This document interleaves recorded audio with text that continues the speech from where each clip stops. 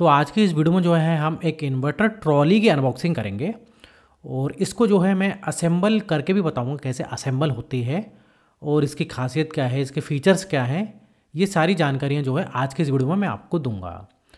तो ये देखिए, ये जो है बिल्ड स्किल वालों की है build skill trolley for inverter and battery मतलब इसमें आप इन्वर्टर भी रख सकते हो और बैटरी भी रख सकते हो।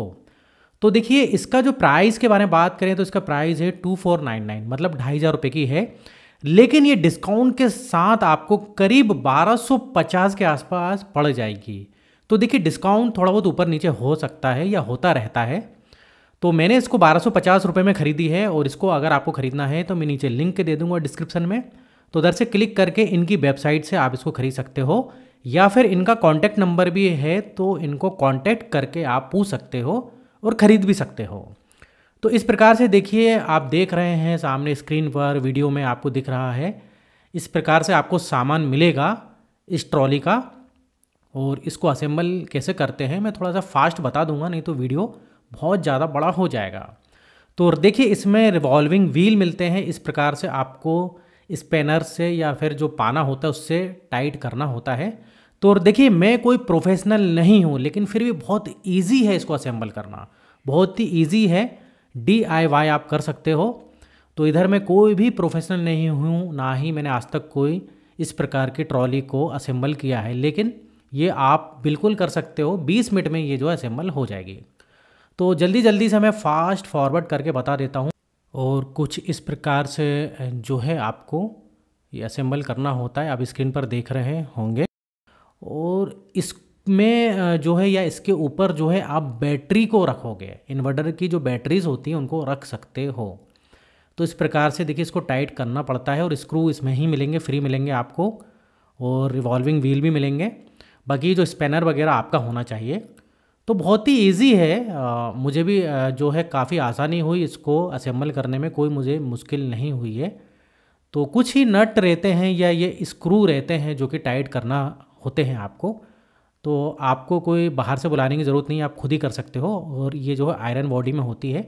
तो इस प्रकार से देखिए असेंबल हो जाएगी और ऐसे जो है आपको इस प्रकार से दिखेगी ये। और सिक्स मंथ की इसमें वारंटी भी मिलती है, कभी कोई प्रॉब्लम होती है तो आप कंपनी से कांटेक्ट कर सकते हो। छः महीने की वारंटी ये तो मतलब काफ़ी अच्छी बात है कि हमको ट्रॉली में वारंटी भी मिलती है। तो इधर देखिए, इसमें जो है आप बैटरी और इन्वर्टर दोनों रख सकते हो। अभी मैं रख के बताऊँगा। मेरे घर पर जो इन्वर्टर है, उसको मैं बताऊँगा किस प्रकार से रखते हैं। तो ये देखिए, इस प्रकार से जो है विल्ड स्किल का है ये ट्रॉली और ये काफ़ी, लोहे का है तो काफ़ी मज़बूत रहेगा मेटल है, लोहा है। तो ये देखिए, ये मेरा इन्वर्टर है और ये देख सकते हो आप, ये इन्वर्टर जो रखा हुआ है ल्यूमिनस कंपनी का जो है ये ट्रॉली है और फाइबर बॉडी की है प्लास्टिक की है तो ये टूट गई है।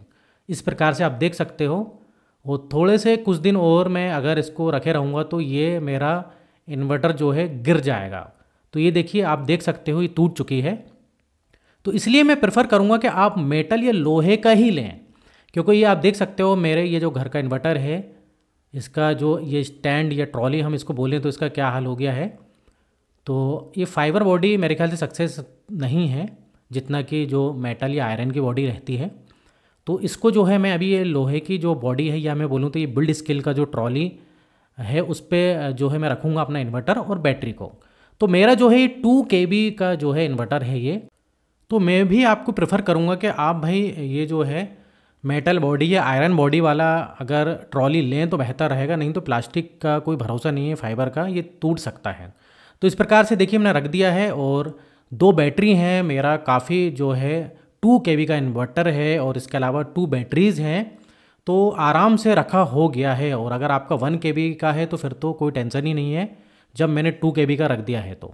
तो अगर आपका भी टू के का है या फिर वन के का भी है तो मैं प्रेफर करूँगा कि आप ये लोहे वाला लें तो बेहतर रहेगा। तो ये बिल्ड स्किल कंपनी का है और काफ़ी जो है मुझे अच्छा लगा। और ये देखिए, अच्छे से जो है ये बैटरीज रखी हो गई हैं। बाकी आपकी अगर एक बैटरी है अगर एक बैटरी है तो उसको आप अपने हिसाब से एडजस्ट कर सकते हो। तो मेरी दो बैटरी थी, मैंने इस प्रकार से रख दिया है और रोज़ तो इसको कोई हिलाना नहीं होता है इन्वर्टर को। हालाँकि इसके जो पहिए वगैरह हैं, इसको आप मूव भी कर सकते हो और इसमें नीचे झाड़ू वगैरह सफ़ाई भी कर सकते हो आप, इतनी जगह दी गई है।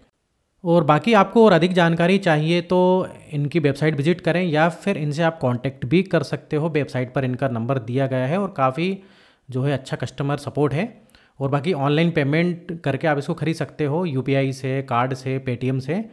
तो इधर मेरा वीडियो ख़त्म होता है और अगर आपको इस टाइप से और भी वीडियो देखना है तो आप मेरे चैनल को सब्सक्राइब कर सकते हो। अगर आपने मेरे चैनल को सब्सक्राइब नहीं किया है तो। तो वीडियो अच्छा लगे तो लाइक भी कर दीजिएगा। फिर मिलेंगे नेक्स्ट वीडियो में। जब तक आप बने रहिए और देखते रहिए आपके अपने चैनल में नॉलेज फॉर टेक